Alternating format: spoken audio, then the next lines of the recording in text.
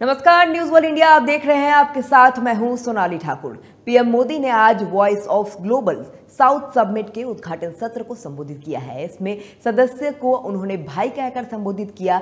Submit को संबोधित करते हुए पीएम मोदी ने कहा है कि हमारा उद्देश्य है कि वैश्विक दक्षिण की आवाज़ को बढ़ाना। प्रधानमंत्री नरेंद्र मोदी ने कहा है कि मेरा सौभाग्य है कि मैं अपना स्वागत सबमिट में कर रहा हूँ। मैं आपका धन्यवाद करता हूँ कि आप दुनिया के विभिन्न जगहों से इसमें हिस्सा ले रहे हैं। भारत ने हमेशा वैश्विक दक्षिण और अपने भाइयों के साथ अपने विकास संबंधी अनुभव को साझा किया है। Voice of global south summit में पीएम मोदी ने आगे कहा है कि हम वैश्विक दक्षिण का भविष्य में सबसे बड़ा दाव है। हमारे देशों में तीन चौथाई मानवता रहती है। भारत ने हमेशा अपने विकास के अनुभव को वैश्विक दक्षिण के साथ साझा किया है। हमारी विकास साझेदारी से सभी भौगोलिक और विधिक क्षेत्र शामिल है। उन्होंने आगे कहा है कि भारत ने इस वर्ष अपनी जी ट्वेंटी अध्यक्षता शुरू कर दी है। यह स्वाभाविक है कि हमारा उद्देश्य वैश्विक दक्षिण की आवाज़ को बढ़ाना है।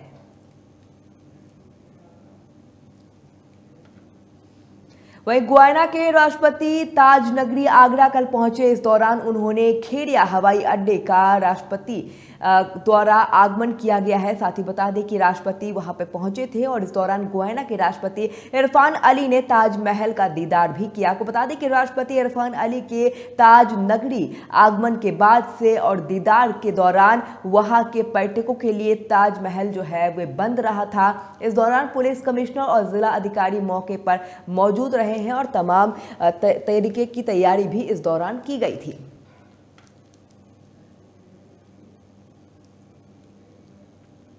वहीं बरेली में बुधवार शाम जमीनी रंजिश में गोलियाँ बरसाते हुए तीन लोगों की हत्या करने का मामला सामने आया है। बता दें कि करीब दो से अधिक राउंड फायरिंग के आसपास इलाके में दहशत का माहौल देखने को मिला। गोली लगने से तीन लोग घायल हो गए हैं। रात में ही कई थाने की पुलिस और एसपी देहात डीआईजी मौके पर पहुँचे और घायलों को अस्पताल भेजा गया। बताया जा रहा है कि गैंगवार में यह वारदात की गई है।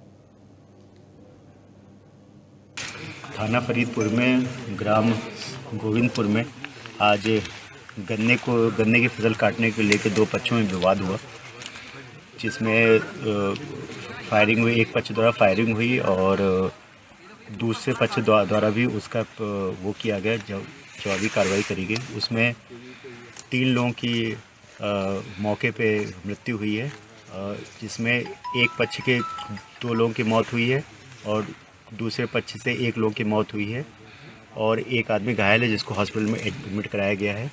इसमें जो अभी तहरीर मिलेगी उसके आधार पर मुकदमा लिख के कार्रवाई की जाएगी और पुलिस की टीमें बना दी गई हैं। जो जो लोग इसमें इन्वॉल्व हैं, जिसमें मुख्यतः नाम आ रहा है कि सुरेश पाल तोमर है, जो 18-20 लोगों के साथ यहाँ पे आया था और उसने पहले पहले आके इन लोगों पे फायरिंग करी तो इन लोगों ने फिर जवाब जवाबी कार्रवाई करी।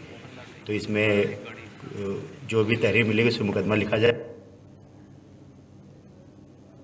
अब खबर कासगंज से है, जहाँ सफ़ेद रंग की बकरा जो है, चर्चा का विषय बना रहा। बता दें कि यहाँ बकरे के कान पर अल्लाह सात सौ छियासी लिखा हुआ था। इस दौरान बता दें कि इसको देखने के लिए दूर दराज से लोग यहाँ पहुँच रहे थे। बकरे की कीमत 15 लाख रुपए बताई जा रही थी।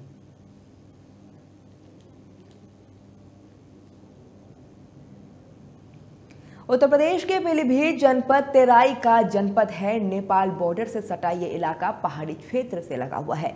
इसी को लेकर यूपी के पीलीभीत जनपद में ठंड का प्रकोप बढ़ता जा रहा है। बीते एक हफ़्ते से ज़्यादा का समय हो चुका है। सूर्य देव ने यहाँ अपने दर्शन नहीं दिए हैं। ऐसे में जिला प्रशासन की तरफ़ से कोई खास पुख्ता इंतज़ाम नहीं नज़र आई है। स्थानीय लोगों ने अपनी तरफ़ से अलाव की व्यवस्था करी हुई है। वही शहर के प्रमुख चौराहे में कुछ ही चौराहे ऐसे हैं जहाँ प्रशासन द्वारा अलाव की व्यवस्था की गई है। इसके अलावा रेन बसेरों में भी नहीं कोई खास इंतज़ाम देखने को नहीं मिल रहा है। साथ ही बता दें कि इसको लेकर प्रशासन की व्यवस्थाओं पर तमाम तरीके के सवाल खड़े हो रहे हैं। ठंड का जो प्रकोप है पीली जनपद में लगातार बढ़ता जा रहा है। ऐसे में जिला प्रशासन द्वारा क्या व्यवस्थाएँ की गई हैं? किस तरीके ठंड की मार जो है झेल रहे लोग? देखिए पिछले एक पखवाड़े से ठंड का प्रकोप पूरे ज़िले में बहुत फैला हुआ है और ये एक तरह से प्राकृतिक आपदा भी है। लेकिन प्रशासन की तरफ़ से जो आपने पूछा, मेरे हिसाब से कोई मकबूल इंतजामात नहीं है। जो रेन बसेरे बने हुए हैं, वो उन रेन बसेरों में मैंने देखा कि ना तो सफ़ाई की व्यवस्था है और ना प्रशासन द्वारा पूरी तरीके से वहाँ पे व्यवस्थाएँ, गर्म कपड़ों की, गद्दों की करी गई हैं, उजाले की करी गई है और ना वहाँ पे किसी तरह का कोई अलाव वगैरह की व्यवस्था करी गई है। मैंने देखा चौराहों पर भी जो अलाव वगैरह लगे हुए हैं, वो लोगों के अपने व्यवस्था से लगाए हुए हैं। प्रशासन द्वारा मुझे अलाव लगे हुए कहीं भी दिखाई नहीं दिए। जो नगर पालिका पिछले वर्षों में मुख्य मुख्य चौराहों पर अलाव लगाती थी, वो भी अब की बार नज़र नहीं आ रहे हैं। जो अपनी संस्थाएँ हैं, जो लोगों की क्लब हैं, उनके द्वारा अलाव तो नज़र आ रहे हैं, लेकिन प्रशासन द्वारा इस तरह की कोई व्यवस्था यूपी के पहले पीलीभीत जनपद के बिसलपुर कोतवाली थाना क्षेत्र के देवा नदी किनारे बता दें कि अज्ञात शव की पहचान हो गई है। अज्ञात शव थाना फरीदपुर के 35 वर्षीय प्रेम प्रकाश का है। आज पोस्टमार्टम हाउस में आकर परिवार ने उसकी शिनाख्त कर ली है। दरअसल प्रेम प्रकाश जिला जेल में 2006 से हत्या के लिए मामले को लेकर बंद था और उसने 18 साल की सजा काटी हुई थी। वहीं प्रेम प्रकाश की सजा तीन जनवरी को पूरी हो गई थी और वे जेल से बाहर आ गया था। बाद में बता दें कि थाना क्षेत्र के रहने वाले अपने मित्र रामवीर के घर वो चला गया था। बता दें कि प्रेम प्रकाश के साथ जेल से रामवीर भी रिहा हुआ था। परिजनों की माने तो उन्हें रिहा होने की जानकारी नहीं हो पाई। बाद में हुई तो उन्होंने रामवीर से जाकर पूछा तो उन्होंने बताया कि वे दूसरे दिन ही उसके घर से चला गया था। परिवार के लोगों ने प्रेम प्रकाश की हत्या का आरोप लगाया है। और पीलीभीत का मामला है, जहाँ पर बता दें कि यहाँ पर हत्या हो गई है और प्रेम प्रकाश की हत्या कर दी गई है, जिसके बाद से लगातार परिजन जो है हत्या करने का आरोप लगा रहे हैं। और इस दौरान बता दें कि प्रेम प्रकाश जो है, वे जेल में कई साल सजा काट कर बाहर आ गया था और इसके बाद से अब उसका शव नदी किनारे मिला है, जिसकी उसकी पहचान कर ली गई है। बता दें कि यूपी के पीलीभीत जनपद के बिलासपुर, बिसलपुर, कोतवाली क्षेत्र के देवा नदी किनारे ये अज्ञात शव बरामद हुई है। अज्ञात शव थाना फरीदपुर के 35 वर्षीय प्रेम प्रकाश का बताया जा रहा है, जिसके बाद से उसका पोस्टमार्टम करवाया गया है। और इस दौरान जो उनके परिजन हैं, उनका ये साफ़ तौर पर कहना है कि उसकी हत्या कर दी गई थी। बता दें कि प्रेम प्रकाश जिला जेल में 2006 से हत्या के लिए मामले में बंद था और 18 साल बाद उसकी सज़ा कंप्लीट हो गई थी, जिसके दौरान वे 3 जनवरी को पूरा करके वे बाहर आया था। वे जेल से बाहर आते ही बता दें कि भूता थाना क्षेत्र के रहने वाले उसके मित्र रामवीर के घर चला गया था और रामवीर भी प्रेम प्रकाश के साथ ही जेल से रिहा हुआ था। परिजनों का कहना है कि उसके जेल से रिहा होने की कोई सूचना उनके पास नहीं है। फ़िलहाल लगातार पुलिस इस मामले को लेकर जाँच पड़ताल कर रही है और इस दौरान बता दें कि रामवीर से पूछताछ की जा रही है।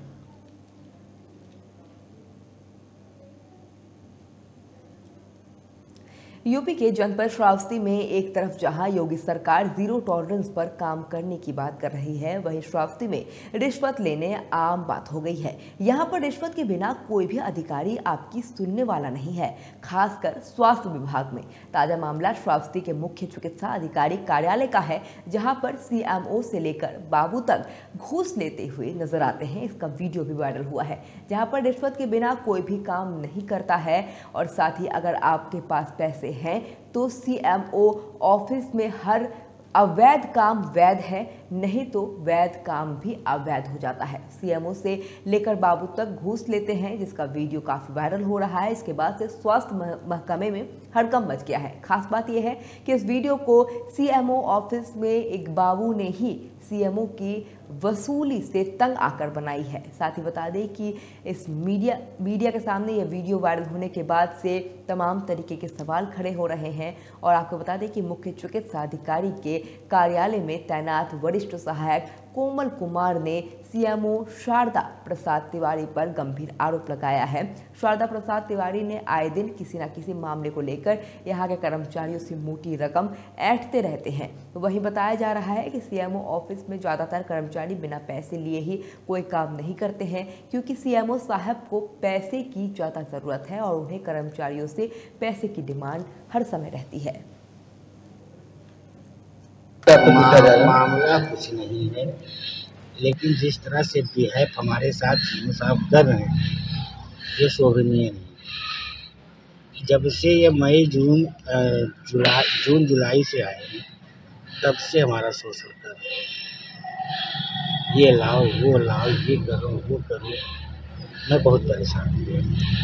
एक उनका वीडियो वायरल हो रहा है और मैं इतना परेशान हो गया इतना परेशान हो गया कि एक तो मेरी बीवी कैंसर से पीड़ित है उसके आए दिन इलाज चलता है मैं उसके बीमारी में तबाह हूँ। मैं बताइए पैसा कहाँ से ला कितना पैसा मांगा गया पचास हज़ार रुपया कहीं लाओ तो नहीं तुमको मल्लीपुर भेज देंगे। क्या कहना चाहिए? उसके संबंध में मुझे कोई ऐसी जानकारी है नहीं वीडियो कैसा है किस लिए है लेकिन सुबह मैं वहाँ गया हुआ था मेरे मैं वहाँ काम करता हूँ तो मैं वहाँ जब सुबह पहुँचा तो सीएमओ साहब जो हमारे हैं माननीय सादा प्रसाद तिवारी जी ये अपने एक वरिष्ठ सहायक इनके कोमल प्रसाद जी इनको जासूस गाली दे रहे थे और तुम मुझे पैसा ला के नहीं दोगे? और तुम्हें मैं यहाँ से मल्लीपुर ट्रांसफ़र करूँगा मैं तुम्हारा। तो कोमल बाबू बहुत परेशान थे तो मैंने उनसे पूछा तो हमको देख के रोने लगे। इतना संग, मतलब ये सा, ये सारा वाक्य मेरे सामने हुआ है यही इतना मेरे संज्ञान में है इसके अतिरिक्त मुझे कोई जानकारी नहीं उसके संबंध में उप जिलाधिकारी मड़ावरा द्वारा गाँव गाँव जाकर पेट्रोल, डीजल की बिक्री करने के आरोप में टैंकर को पकड़कर पुलिस को सुपूत कर दिया गया है। बीते दिनों कस्बा मड़ावरा के ग्रामीणों और साथ ही एक पेट्रोल पंप संचालन द्वारा शिकायत की गई थी कि मड़ावरा के तहसील क्षेत्र में एक टैंकर द्वारा नोजल लगाकर गाँव गाँव जाकर पेट्रोल, डीजल की बिक्री की जा रही है, जो कि नियम के विरुद्ध है। शिकायत का संज्ञान लेते हुए उप जिलाधिकारी बता दें कि संजय कुमार पांडे द्वारा आपूर्ति कर रहे उक्त टैंकर से गाँव गाँव जाकर डीजल, पेट्रोल, बिक्री संबंधी दस्तावेज़ तलब किए गए हैं, जिस पर कोई दस्तावेज़ नहीं पाए गए। बाद में पूर्ति निरीक्षण को मामले से अवगत कराते हुए अवगत कार्रवाई की जा रही है।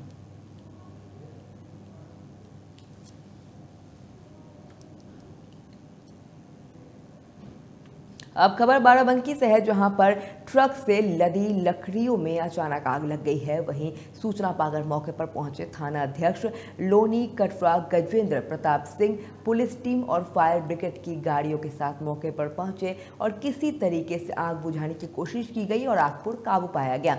इसके बाद से किस बता दें कि यह मामला लोनी कटरा थाना क्षेत्र के अंतर्गत लखनऊ सुल्तानपुर नेशनल हाईवे के दहिला डेरी के पास की घटना, ये बताई जा रही है। आप तस्वीरों में देखिए किस तरीके से इस तरीके की घटना सामने आई है। ट्रक में आग लग गई है और ये ट्रक में बता दें कि लकड़ियों से ये ट्रक लदी हुई थी, जिस दौरान आग लगी है और साथ ही बता दें कि काफ़ी मशक्क़त के बाद से आग पर काबू पाया गया है।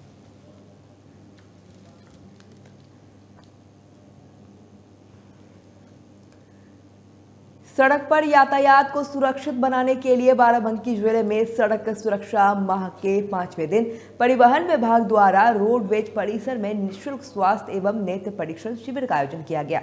जिसमें परिवहन निगम और प्राइवेट वाहनों के चालकों, परिचालकों और साथ ही यातायात पुलिस के कर्मियों का परीक्षण किया गया। इस अवसर पर आम जनमानस को सड़क सुरक्षा के प्रति जागरूक करने और यातायात नियमों के संबंधी हैंडबिल, बता दें कि पंपलेट आदि का वितरण किया गया है। बता दें कि चालकों से वाहन चलाते समय हेलमेट और साथ ही सीट बेल्ट का प्रयोग करने की नियमों का पालन करने की अपील की गई है। कोहरे के समय अपने वाहनों में रिफ्लेक्ट टेप लगाने और साथ ही उल्टी दिशा ओवर स्पीड में वाहन का संचालन ना करने की अपील की गई है।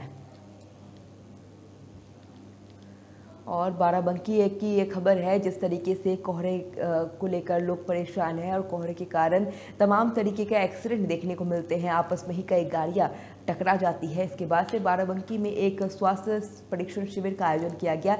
जिसके बाद से वहाँ पर लोगों को पैम्पलेट बांटते गए हैं और साथ ही स्टिकर बांटी गई है और साथ ही लोगों से अपील की गई है कि कोहरे के समय गाड़ी को आराम से चलाए और साथ ही इस स्टिकर को गाड़ी पर लगाए, ये बात कही गई है और साथ ही तमाम तरीके की बातें की गई है। जिस तरीके से इस स्वास्थ्य परीक्षण शिविर का आयोजन किया गया, इसको लेकर लोगों को जागरूक किया जा रहा था और इस दौरान सुरक्षित यातायात से जुड़ी तमाम तरीके की जानकारी लोगों को दी गई। उनसे अपील की गई कि इन जानकारियों को लेने के बाद वो इस नियम को फॉलो करें और साथ ही इस दौरान कोहरे को लेकर जिस तरीके से ठंड का प्रकोप देश और दुनिया में ज़्यादा देखने को मिल रहा है और बाराबंकी में भी ठंड का कहर लगातार जारी है। ठंड के कारण सड़क पर गाड़ियाँ जो है रेंगती हुई नज़र आती है और इस दौरान बता दें आपको कि कई बार कोहरे के कारण एक्सीडेंट देखने को मिलता है। काफ़ी गाड़ियाँ आपस में ही टकरा जाती है, जिसके बाद से यहाँ पर बता दें कि स्वास्थ्य परीक्षण शिविर का आयोजन किया गया और इस शिविर के माध्यम से लोगों को जागरूक किया गया। किस तरीके से रॉन्ग साइड से गाड़ियाँ ली जाती है और काफ़ी स्पीड में गाड़ी होने के कारण आपस में टकरा जाती है गाड़ियाँ, इसके बारे में जानकारी दी गई है और साथ ही कोहरे की वजह से जिस तरीके से इस तरीके की घटना ज़्यादा देखने को मिलती है, इस वजह से गाड़ियों को कम स्पीड में चलाने के लिए अपील की गई है। इस दौरान बता दें आपको कि पैम्पलेट बांटे गए हैं, स्टिकर्स बांटे गए हैं और इस स्टिकर को गाड़ियों पर लगाने की अपील की गई है।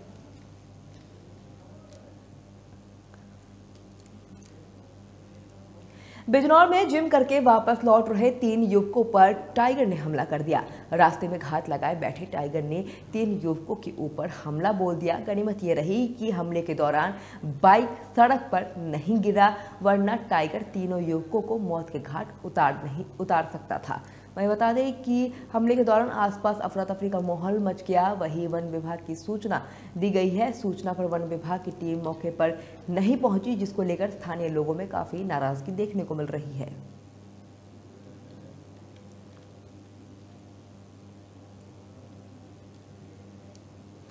यूपी के फतेहपुर ज़िले में धर्मांतरण के मामले में एक और बड़ा खुलासा हुआ है, जिसमें ईसाइयों को बचाने के नाम पर अमेरिका, कनाडा, लंदन सहित पाकिस्तान में लगभग 60 करोड़ आए गए हैं। बता दें कि जिसको लेकर सदर कोतवाली जाँच पड़ताल कर प्रयागराज नैनी एग्रीकल्चर यूनिवर्सिटी के चीसलर और साथ ही वाइस माफ़ करेगा, चांसलर और साथ ही वाइस चांसलर सहित आधा दर्जन से अधिक लोगों को नोटिस तलब की गई है और जवाब मांगा गया है। वही आज भी लोग कोतवाली पहुंचकर यहाँ बता दें कि अपने अपने जवाब प्रस्तुत करेंगे और साथ ही आपको बता दें कि ज़िले के हरिहरगंज स्थित चर्चा में धर्मांतरण के मामले में 15 अप्रैल को छप्पन लोगों के खिलाफ मुकदमा दर्ज किया गया है। वहीं इस पूरे मामले में विवेचना कर रहे सदर कोतवाली अमित मिश्रा को इस पूरे मामले की पैनी नज़र है। विवेचन बता दें कि अमित मिश्रा द्वारा बताया गया है कि धर्मांतरण के फंडिंग के तार विदेश से जुड़े हुए हैं।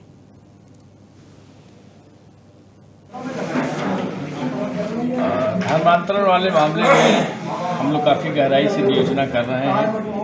और उम्मीद है कि इसमें अभी काफ़ी लोग शामिल होंगे योजना के माध्यम से। और बड़ी बड़ी संस्थाएँ इसमें इन्वॉल्व हैं, उस पर भी हम नज़र रखे हुए हैं, बयान लिए जा रहे हैं। और इनके ऑफ़िस वगैरह में भी हम सर्च करेंगे सर्च किए भी जा रहे हैं। कुछ हमें सबूत भी प्राप्त हुए हैं, जो प्रलोभन के तौर पर इन लोगों के द्वारा जो है किसी को बकरी है, किसी को गाय है, किसी को लैपटॉप है। तमाम चीज़ें, दवाइयाँ और अनाज वगैरह सब दिए गए हैं। पूरा लिस्ट हम लोगों को प्राप्त हुई है। अभी और भी हम सर्च करेंगे। और निश्चित तौर पे हम काफ़ी लोगों के विरुद्ध कार्रवाई करेंगे और इनकी कमर तोड़ के रखेंगे हम। ये जो जाल फैला हुआ है, इनको छोड़ेंगे नहीं। अगर इनकी, इनका लिंक बाहर दूर तक भी जाता है तो दूर तक हम पीछा करेंगे। धन्यवाद। फतेहपुर का मामला है, जहाँ पर बता दें कि धर्मांतरण को लेकर एक नया खुलासा हुआ है, नई बात सामने आई है और इस दौरान बता दें कि इसके तार विदेशों से जुड़े होने की बात सामने आई है। साथ ही बता दें कि जिसको लेकर सदर कोतवाल जाँच पड़ताल, प्रयागराज, नैनीताल एग्रीकल्चर यूनिवर्सिटी के चांसलर और वाइस चांसलर सहित आधा दर्जन से अधिक लोगों को नोटिस जारी किया गया है और जवाब भी मांगा गया है। आज बता दें कि कोतवाली पहुंचकर यहाँ अपने अपने जवाब प्रस्तुत करने और आपको प्रस्तुत करने की बात कही गई है। साथ ही बता दें कि ज़िले के हरिहरगंज स्थित चर्च में धर्मांतरण के मामले में 15 अप्रैल को छप्पन लोगों पर मुकदमा दर्ज किया गया था और इस पूरे मामले को लेकर सदर कोतवाली अमित मिश्रा ने पूरे मामले पर पैनी नज़र बनाए हुए रखते हुए नज़र आए हैं और साथ ही बता दें कि धर्मांतरण की फंडिंग के तार जो है वो विदेश से जुड़े होने की बात उन्होंने कही है।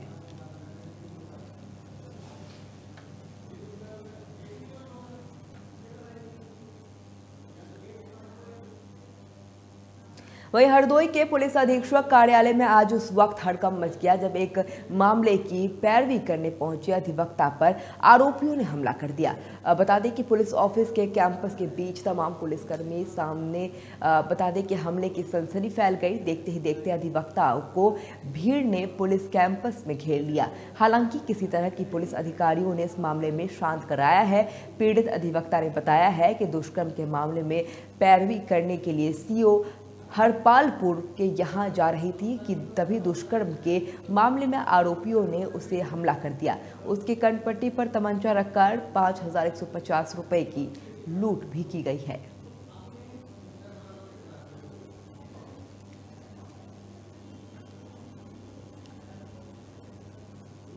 चलिए, फ़िलहाल इस बुलेटिन में इतना ही। देश और दुनिया की तमाम बड़ी खबरों के लिए देखते रहिए न्यूज़ वर्ल्ड इंडिया। नमस्कार।